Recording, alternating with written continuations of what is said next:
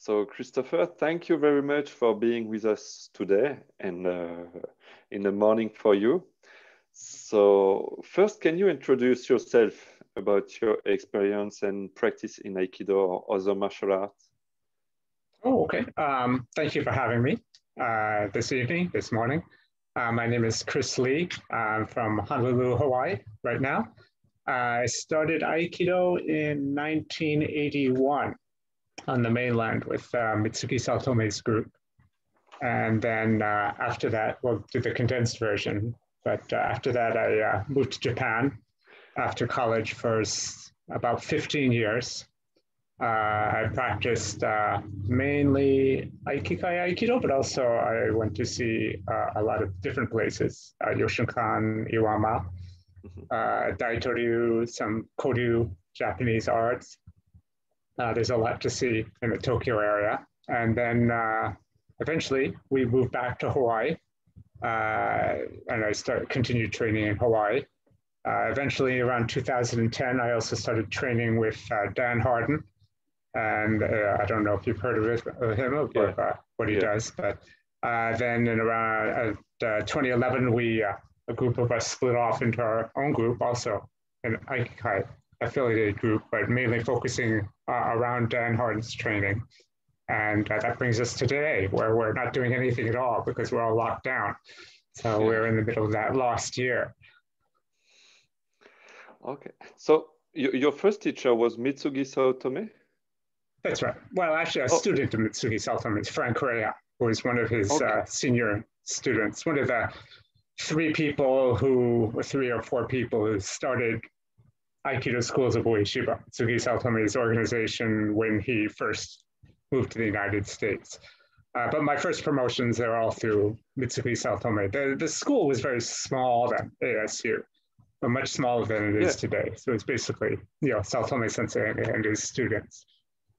Yeah, yeah. I asked the question because it's uh, uh, not all the day we can talk with uh, students of uh, Saotome sensei because mm -hmm. it, it, I, I don't uh, I don't know. I don't feel his organization is really big and uh, so uh, I, I, watch videos by past or uh, but never talk with a, a, direct student. So interesting for me.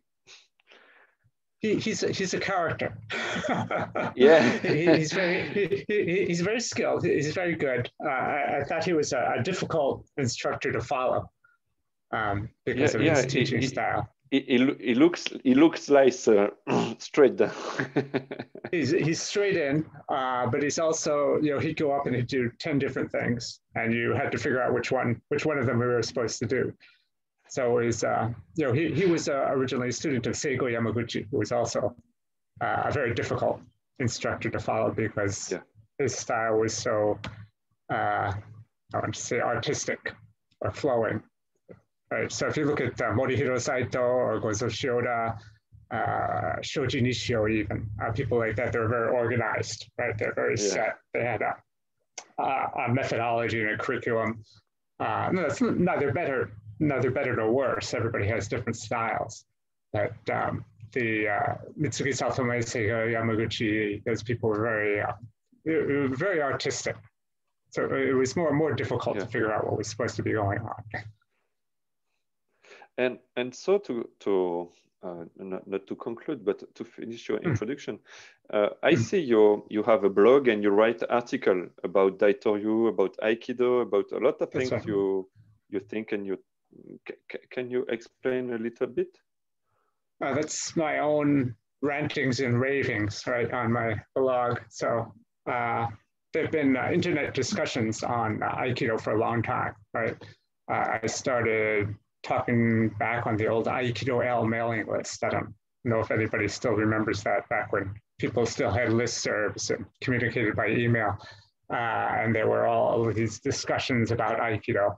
And uh, eventually I started writing, writing some of these things down uh, because it was easier than explaining them every time.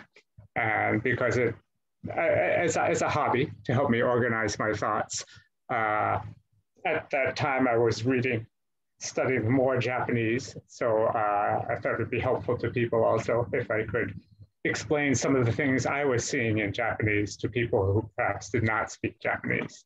So I've included uh, a lot of translations of various interviews uh, with instructors and so forth, and just uh, products of my uh, hobby. I mean, I know that some people have referred to me as a historian, uh, but I'm not. You know, I'm not really a historian. I'm a hobbyist. You know, there, strictly speaking, there are no historians in Aikido, right? Uh, even Stan Pranin was self-trained, right? He was a hobbyist. He wasn't a professional historian. Uh, the closest we get is maybe Peter Goldsbury, right? He's uh, actually a real academic. And, if you've read his articles, um, they're very good. They're very complex, right? And they're, they're very deep. Uh, but outside, even, even that, he's not, that's not his job, right? That's just uh, a side hobby. He wrote some articles about Aikido. There's really, there are really no professional historians in Aikido. So, um, but the, the virtue of the internet is that everybody can share this information. Right? When, when I started, we didn't know anything. We knew nothing about nothing. Right? Uh, there was a few things that looked like they were hand copied that were issued by Stan Pranin. There were a couple of books that weren't very good, you know, like Aikido and the Dynamic Sphere. Mm-hmm. Uh, John Stevens started coming out with books later on. And uh, really, people didn't have much information. Right. So one of the virtues that we have today is that people can share this information, and everybody knows compared to what I knew when I started. Just the, the level of knowledge is much much higher, ten times, hundred times higher. Mm-hmm. And it's it's interesting because uh, I, I, follow you on internet. I, I read uh, uh, your blog uh, and old mm -hmm. article, and uh, you you are active on Facebook, by example, and mm-hmm. it's interesting because uh, for, for you quality is important, and it's not just saying something, because today a lot of people can say on internet uh, uh something mm-hmm. about Aikido or martial art, but in your blog you have in different articles Japanese version, English version, and the translation, and um, can, can you explain for you uh, what is important today to preserve maybe in Aikido or to keep alive and uh, against what you you not to fight but uh, what you don't agree with with internet well, internet is difficult right there yes, are a lot of good yes. things and there are a lot of bad things right yes uh, the, the good thing is that information is free right so we can talk to each other. When I started, it's almost 40 years ago, right? I didn't talk to anybody in France. And I didn't talk to anybody around the world about Aikido. We were in a bubble. Um, of course, people, I think people should be able, should practice the way they want to practice. You know, people are free to do whatever they want for whatever reason. I think that's great, right? People enjoy different things. Uh, some people enjoy pottery. I don't enjoy pottery. Some people enjoy dance. I don't enjoy dance. That's fine. Uh, but when you're talking about things, you, know, you talk about the history. Somebody did this. Somebody said this. Uh, we do this because this person did that.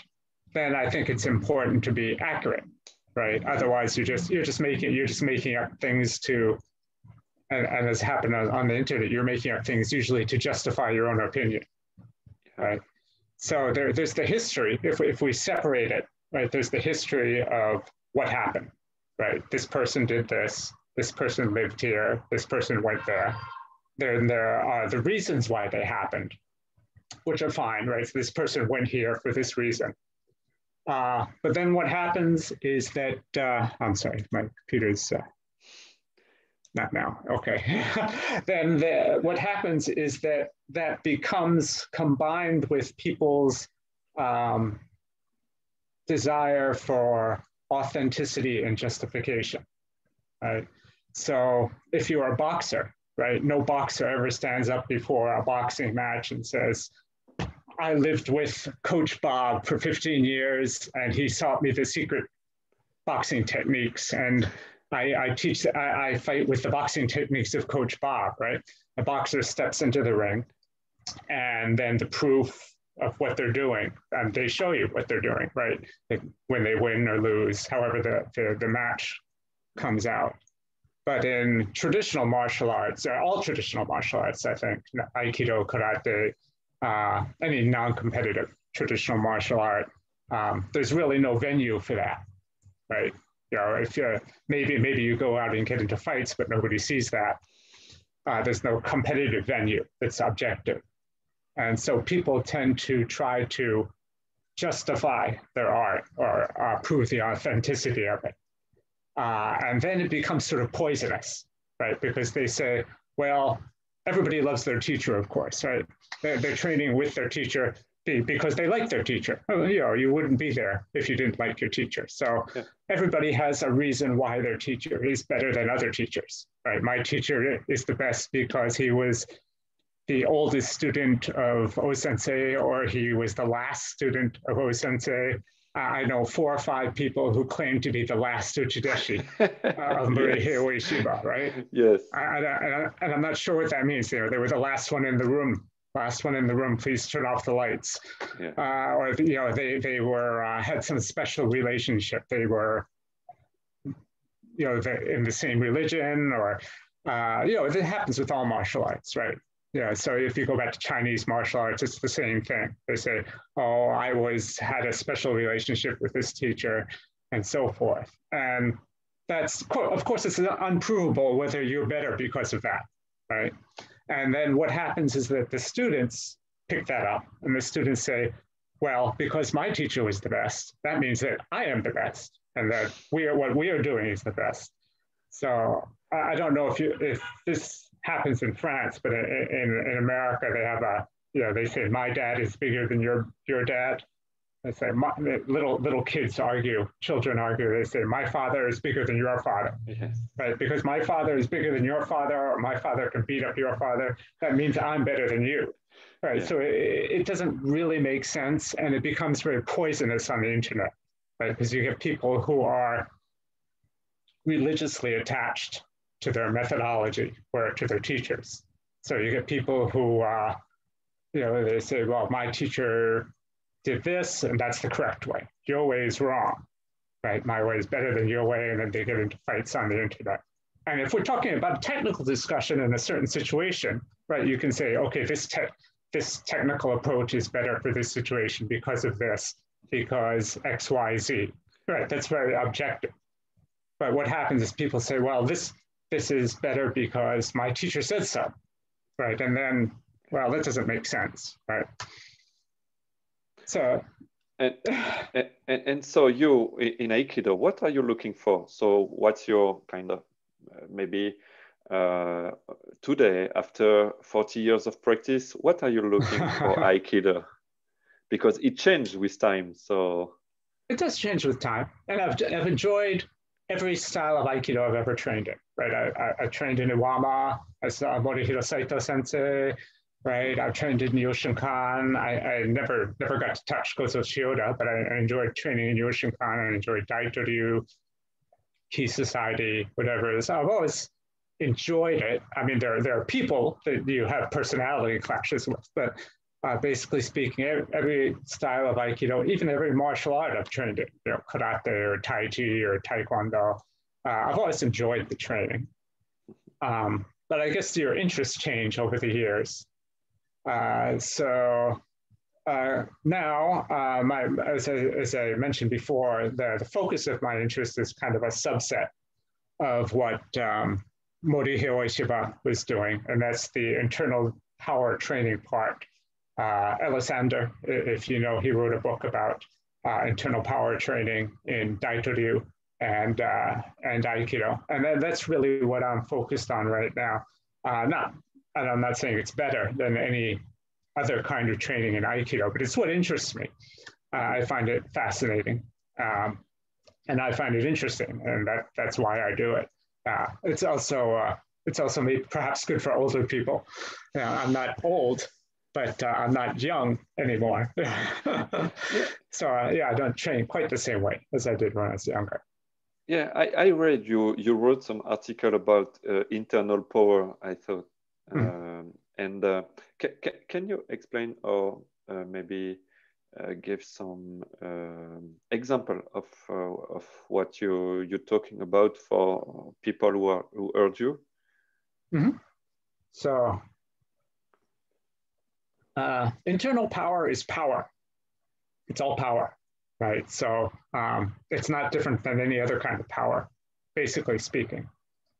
So it's uh, people hear internal power and they say, "Oh, you're all about ki and rainbows shooting from your fingertips, right? Uh, but um, classically, if we're talking about, uh, say, Chinese arts, right, they would divide um, divide arts into internal arts and external arts.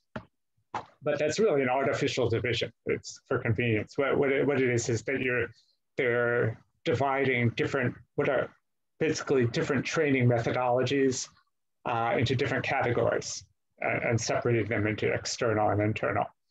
Uh, so for what I'm talking about when I talk about internal martial arts and external martial arts, an external martial art would be concerned with uh, speed, leverage, positioning. So the things that are related to uh, myself and the opponent. So there's a relationship between myself and the opponent, right?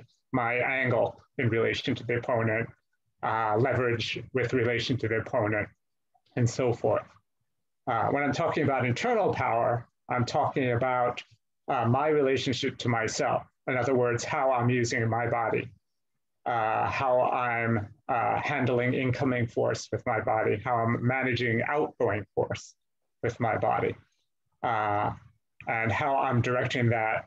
We talk a lot about intent, about the, the use of the mind and intent. And of course, all movement is directed by the mind, right? External, the internal movement.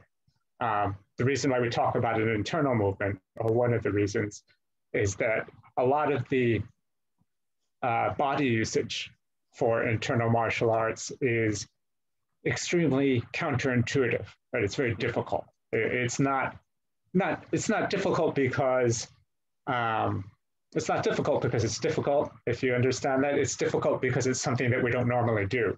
Yeah. Right. So, so, so any normal skill, any normal skill that's different from the way you've been using your body for 40 years or 50 years, it's going to be difficult to pick up a new way to move. Right. So if I walk into a ballet class, it'll be very difficult. Right. So, um, in internal martial arts, the, the body usage is quite different.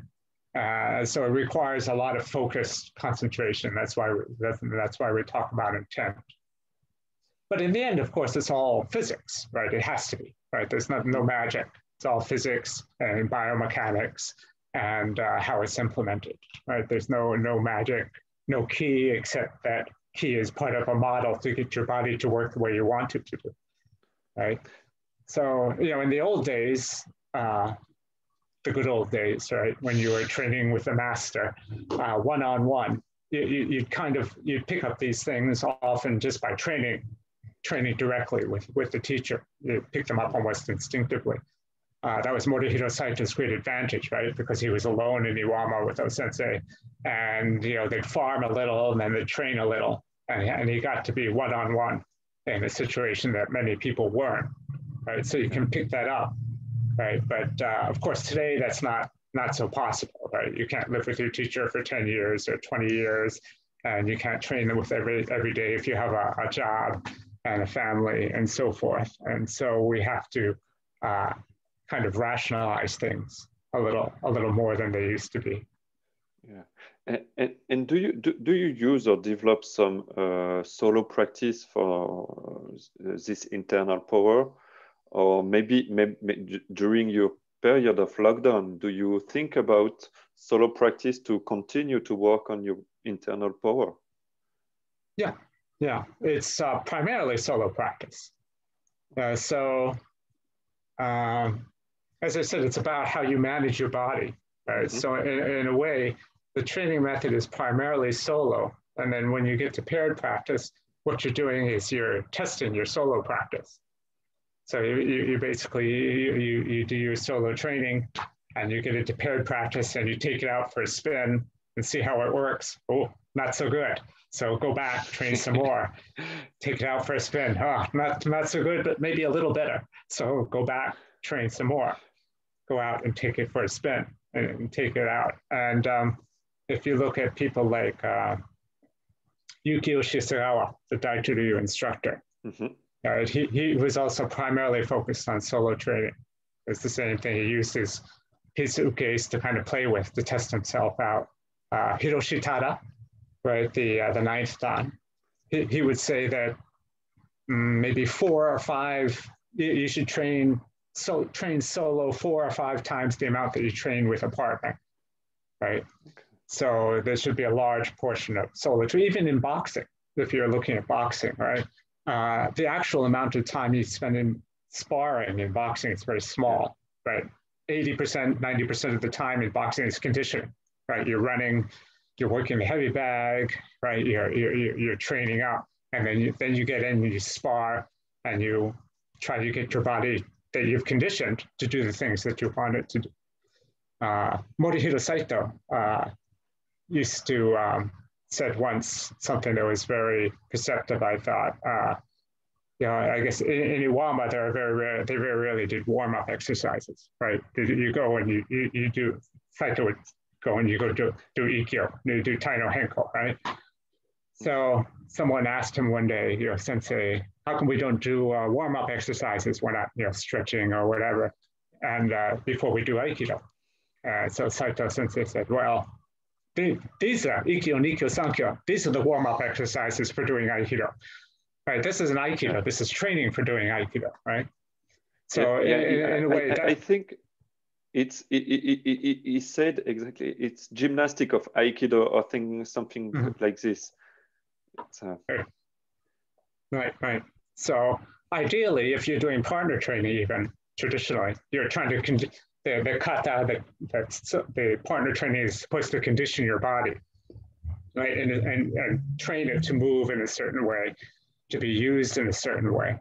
And that, that's good, I think, as far as it goes. The, the tricky part with um, partner practice is often that you get um, trapped into the kata, if you, if, if you understand what I'm saying. So people, mm-hmm. the, the point of the partner practice becomes the partner practice, right? To make the partner practice better rather than the partner practice training your body and training you to use your body in a certain way.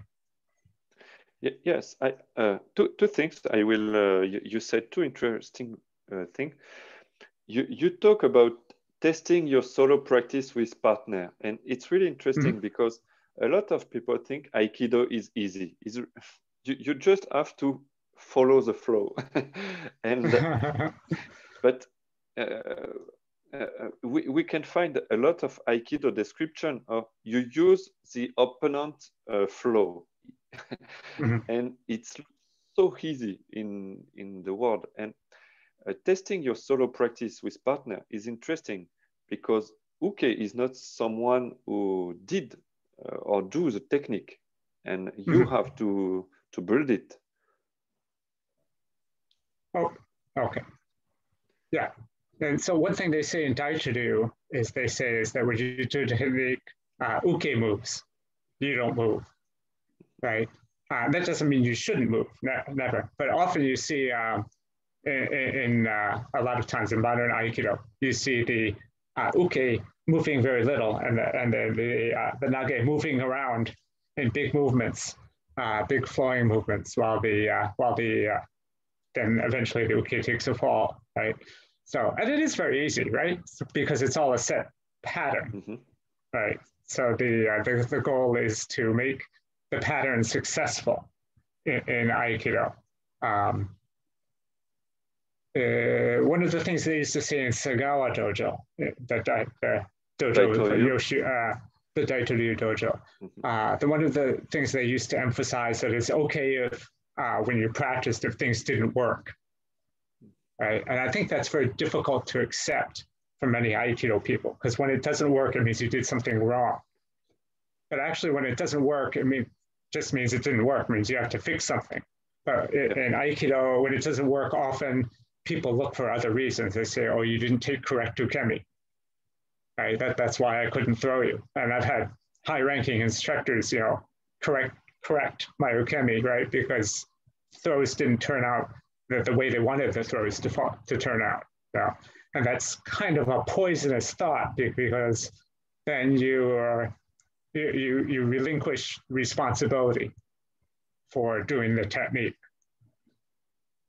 Right. Um, I, I, I, think in one of my interviews with uh, Morihiro Saito sensei, the one, the one I translated from Morihiro Saito sensei, I, I started with a story of someone who trained in Iwama and I guess uh, fell down without being thrown down. And Saito sensei came over and gave him a scolding, right? Uh, you know, that uh, Aikido is supposed to work, you know, whether the uke, you know, wants to fall or not. So what, what are you doing just taking a fall? And um, it makes, of course, the, the, the technique more successful. Uh, but it's in the end bad for the nage in a way, right? Because then the, the nage thinks that they're able to do this beautiful throw, but perhaps they're not really able to do it. Uh, and the tricky part about the, the uke nage model is that it is artificial, right? It's completely artificial. So you have to, it has to be, um, I think, very, it requires an educated uke, right? So in, in many traditional arts, the uke is the teacher rather yeah. than the student, right? The yes. uke falls because the uke is setting up the situation for the nage. So the teacher uh, knows not to fall too soon. He knows uh, not to not to fall too late, right? Not to struggle against the, the nage and just make it a, a, meaningless practice, right? Because you're just fighting fighting against each other. You're not learning anything. Mm-hmm. Uh, so I guess traditionally in Japan, you know, they don't they don't speak very much in training. You just follow along with whatever the teacher is doing. Uh, but that often doesn't work in the West, especially because people don't train with the same people day out, day in and day out uh, for 30 years or 20 years, right? So it requires, I think, a high level of communication between the uke and the nage. Uh, well, what are you doing? Oh, you're giving, you're, you're attacking me too hard. Could you ease off a little bit and let me do this? Or could you give me a little more force? You're, you're falling too easily right? And this doesn't normally happen in a lot of modern Aikido dojos, right? They just try to get the end result, that the pretty picture, they're chasing the effect. Yeah, yes, and you, you, you said something interesting. Uh, Saito Sensei explained, okay, uh, should be strong, but not as strong as um, uh keep, keeping Tori blocked uh, right. Tori yeah. has to do yeah. the technique under a strong uh, grab, but th right. this is something he was categoric. And uh, the, the third thing you, you, you said interesting is you need to have a body ready for the practice. You need to yes. uh, have a stronger body and uh, wrist. And I read a book about Sagawa Sensei from Daitoryu. And mm -hmm. he explained he, he did a lot of tonren, even when he was old. And yeah. in order to, for his joint, for his wrist, for his forearm, for his shoulder. So uh, how do you practice your body or how do you incorporate your, this in your practice? Well, we have a set of solo training exercises that, that we use to condition our bodies in specific ways. So Sagawa, for example, was crazy about yes. conditioning. Yeah. Um, he, he was kind of, um, if you know, uh, he was kind of um, obsessive compulsive. Yeah. So, for, for example, uh, he, he couldn't do 900 repetitions of an exercise. He had to do a thousand. Or he, he couldn't do 75, it would have to be 100. It'd have to be a round number. Yeah. So if you see his training notes, uh, you, you'd see he'd mark off a 1,000 1,000 sword cuts, 1,000 push-ups, 1,000 sit-ups, or whatever exercise he was doing. But he, he was also very wealthy. So he had, uh, he didn't have to work, right? He, he could train all day and, and be obsessive about it. Not a lot of people can. Right? But um, I think the, um, it's, it's important to condition your body. Uh, it's, um, you have to be very specific about it, right? Because not all conditioning is the same right? A, a bodybuilder doesn't condition them, condition themselves the same way a marathon runner does. They're completely different methods of exactly. conditioning. Exactly. You know, so it has to be specific to what you're trying to do in, in, in Aikido. Uh, but yeah, I, I think it, it is necessary. Uh, uh, Sagawa, I think, would say that the kind of conditioning you're, you're doing um, and the kind of conditioning he was doing uh, was more involved with uh, tendon training, right? Tendon training, whole body usage, and less involved with, say, bodybuilder type yeah. training, just to just to be rough, roughly divide them. Uh, so it was a kind of training he could continue until he was older. Um, actually, one of his students claimed that Sagawa injured his back because he did too much uh, of uh, training with the tanren, but with that heavy, heavy iron, iron staff that he used to swing uh, from his wheelchair, right? Because he was in his wheelchair and he'd still be swinging the, the. And they claimed that it just it, it destroyed his back at that point because he, he couldn't hold up to it. I, I don't know whether that's true, but you can always overdo it. Of course. I, I think it's, it's a story on the book of uh, Kimura Sensei, a student of Sagawa. He, he wrote mm-hmm. a, a, notebook from his training under Sagawa Sensei, and yeah. he explained about his uh, iron iron sword or iron bow, and he swings 1,000 or 10,000, and yeah. he said it's completely crazy for the student. so yeah, so Sagawa would do a lot of heavy training.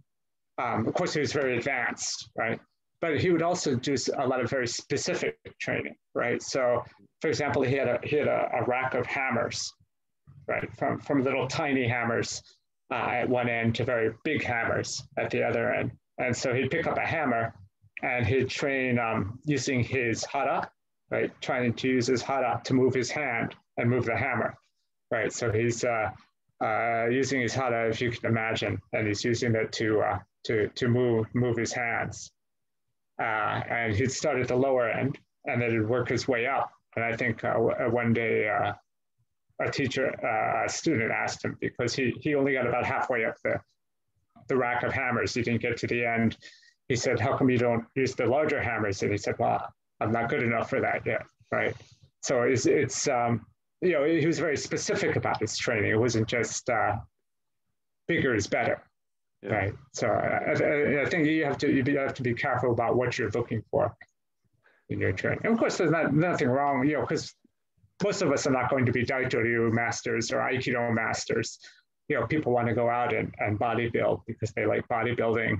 I think that's great. You know, whether it impedes their uh, the the purity of their Aikido practice or not. You know, I mean, I I've, I've always been interested in um, endurance sports, so I ran a lot you know, um, sometimes I'd run 100 miles a week.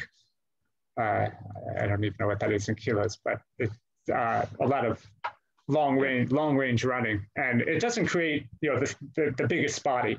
Right? When, when you when you run marathons, uh, you're always skinny. Right? You're never, you're never going to be heavy enough. So, um, you know, if, I, if I'm going, if I were thinking about fighting, right? If I, I, wanted, I wanted to be the deadliest fighter in the world, I wanted to be a street fighter, uh, then of course I think I'd have to put on more bulk, right? I have have to be heavier, stronger. Uh, but that that you know, of course, it's not what I choose for my lifestyle. Uh, so yeah, everybody has their own. You know, it's not just a matter of what you're training in for your art, but you're training in for your for your life. But I think in general, and I, you know, a lot of people are out of shape by any standard, right? uh, you know, a lot of a lot of teachers are just large, shall we say, right? So, but uh, I mean, that's okay. That's their their choice. But if you're an instructor and, and you look like that, it can be problematic.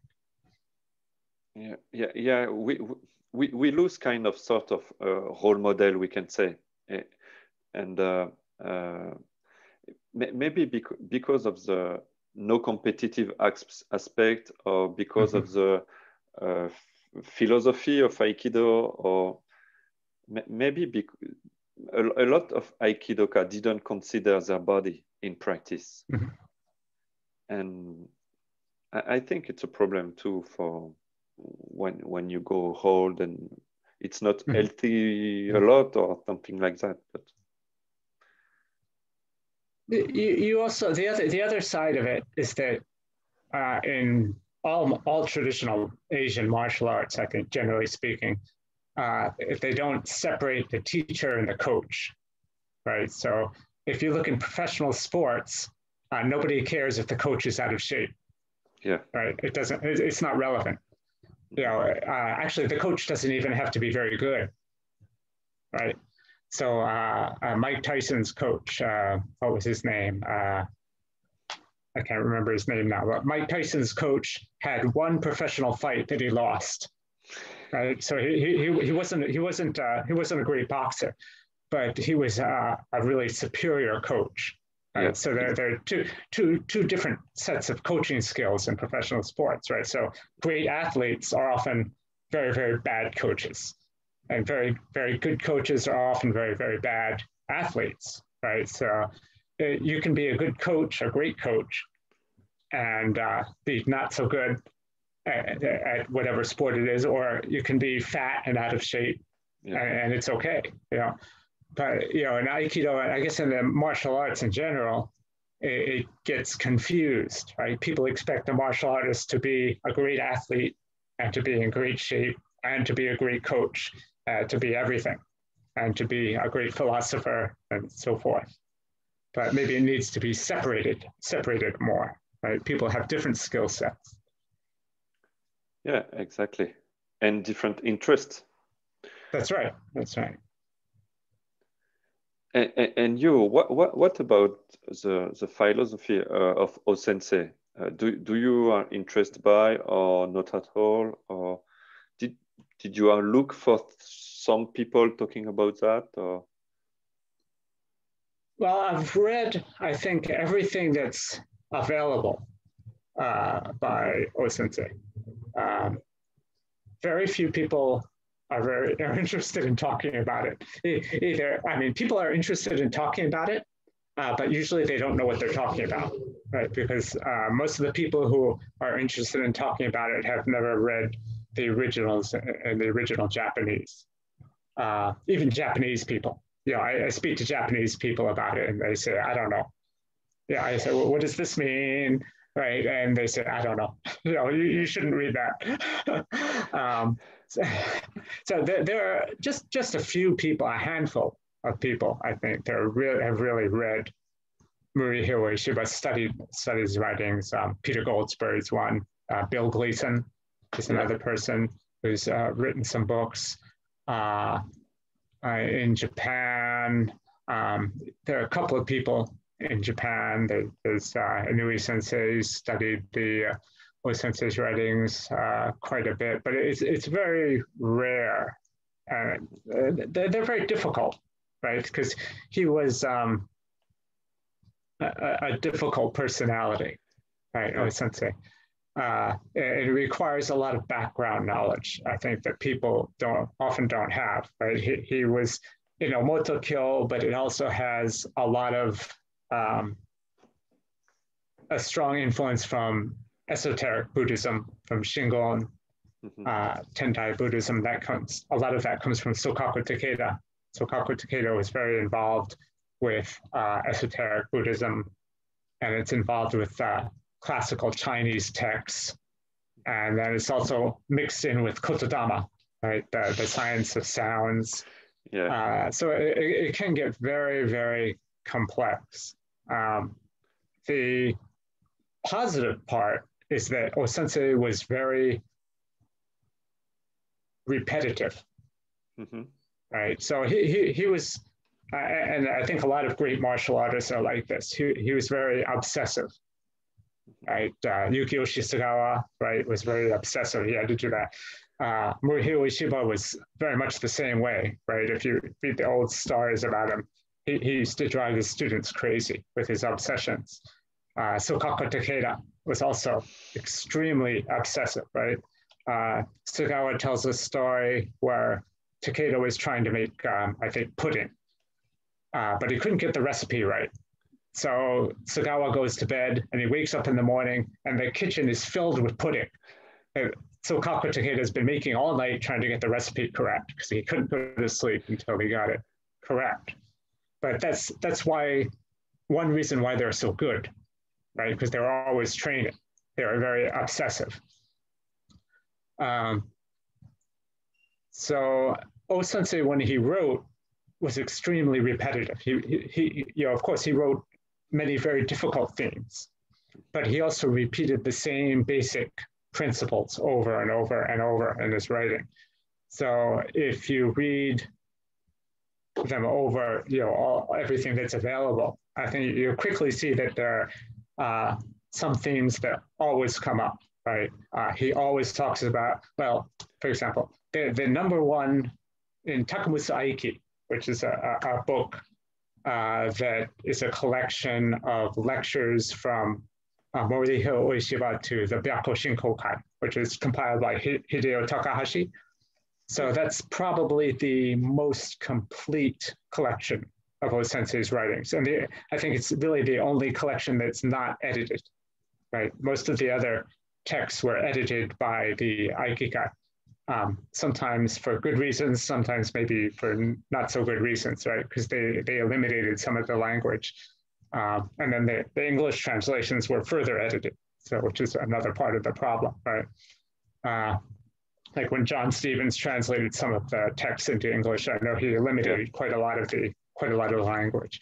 So uh, in Takemusu Aiki, uh, the number one phrase that appears in Takemusu Aiki and I, I didn't count, but someone else counted. Inoue Sensei in Japan counted. I didn't count. The number one phrase that comes up in, in the book is not Aiki or love, peace, harmony. It's um, Ameno Takahashi, right? Uh, the, uh, the, the floating uh, Amino, uh, uh, sorry, sorry, Ameno Ukihashi. I'm sorry, I have to switch between English and Japanese and my mind gets confused. Uh, it's easier for me to just speak in Japanese and it's less confusing, okay. right? This is why I was a, a uh, I was a translator, but I was never an interpreter. Okay. I can't change my head that quickly.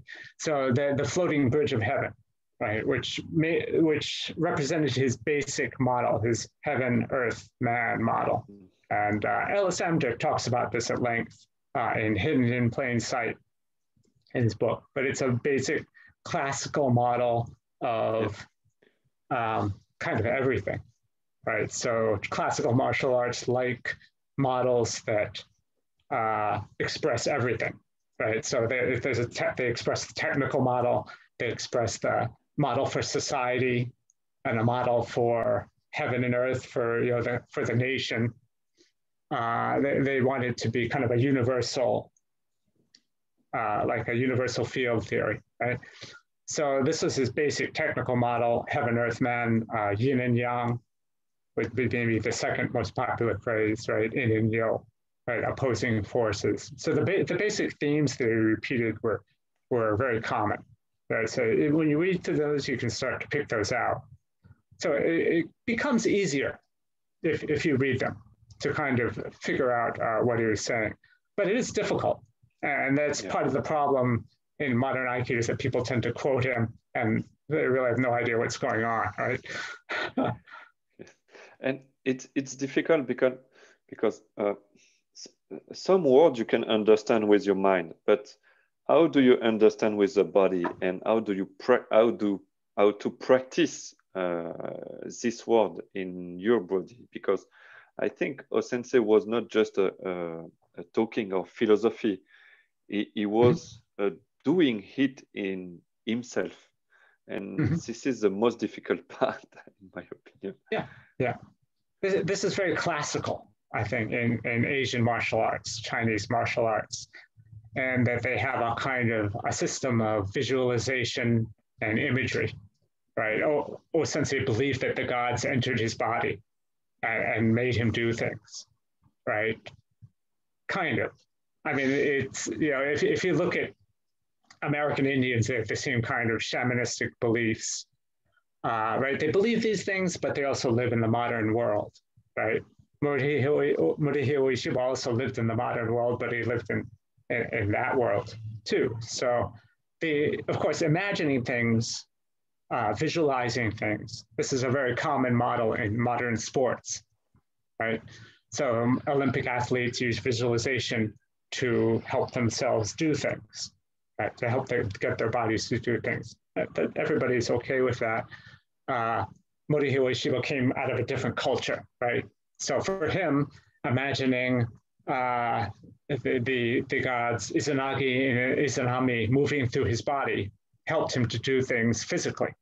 And classically, if you go back to China, they visualize dragons rising up their spine and so forth. And this would help them to do things physically. It's a proven method. It worked worked well for them. Um, it doesn't have much meaning for modern people, I think, which is why I, I, I rarely talk about it in practice. Right, I, except yeah. unless I'm referring to Morihei Ueshiba. You know, if you talk about key, you know, ki, uh, it, it, it held a meaning for people 200 years ago, right? And it helped them do things. But now today, it's not so useful. I think it's just misleading. Yeah, and I, I, I tried to read the Kojiki in order to understand. uh, and yeah. to be to be honest, the first time I, I try, maybe I stop after the introduction. when it begins with all the divinity, and uh, I just okay. So for the moment, I know Enko Morotedo. Okay, perfect. And but it, it, it's really hard to understand the word of Osensei. Mm-hmm. And yeah. even with yeah. translation, even in my language or even in English, because I didn't speak or read Japanese. So it, mm-hmm. we have to consider translation a little uh, mistake in order to simplify or think like this. But even with that, it's really hard. Yeah, it's really difficult. I mean, even, it was even difficult in Japanese. I mean, almost all of Osensei's students who sat there in front of him listening to it in Japanese said they had a hard time understanding it. So that's one and, of the. Hmm. So, sorry, I can. No, no, go ahead. Oh, and, and, and you talk about Kototama. Did, did, did you study something about that or? Not seriously. I mean, it was another model that Morihei Ueshiba used to explain things. Uh, if you look back even into the 1920s and back into Daitoryu, uh, his explanations are very consistent. He almost always talks about the same things from the 1930s to the 1960s, uh, but he changes the phrasing, right? So I think he was trying to find a way to express what he was doing, what he learned from Sokaku Takeda in his own worldview's language, right? So in his Omoto, Kyo, Shinto language, because of course Sokaku Takeda didn't use that language. Uh, if you look back uh, to so to Tokimune Takeda's notes of Sokaku's teaching, uh, Sokaku Takeda used a lot of um, esoteric Buddhist language, right? Because Sokaku Takeda was educated in uh, Shingon Mikyo, right, in esoteric Shingon Buddhism. And Osensei was also educated in a Shingon temple, so he understood that. And the Shingon language appears in Osensei's writings. Uh, but um, I think he wanted to translate that, so to speak. He wanted to convert that into his Omoto language. But that mm-hmm. was very personal, right? No, no, he understood it, but maybe nobody else understood it, or very few people and so he, he wasn't he wasn't that interested in explaining it i think or maybe perhaps he couldn't because his way of thinking was a, a little bit di- different than uh, than other people. but that, that's a, a, big problem uh, for the oral transmission, yeah. I think, and the theoretical transmission from Morihei Ueshiba down to the students is that he, he they weren't able to understand him clearly, right? Yeah, and this is something I talk with a different teacher uh, in Aikido around the world. And Ueshiba Sensei wasn't someone who wanted to uh, teach uh, his art. He just want to practice and go yeah. further and deeper and continue. And students just uh, steal or keep or uh, try to learn something. Mm -hmm. Yeah, he was he was very inspiring. Yeah. Right. He was very charismatic, and people would follow him. But he, I think, he was basically not very much interested in teaching other people. He did, of course, but he's mainly interested in his own training. So it would be, you know, keep up if you can. Otherwise, too bad. So uh, it's it's now one hour. So uh, I I know you have a lot of things to do today because it's uh, the mm. beginning of the day. so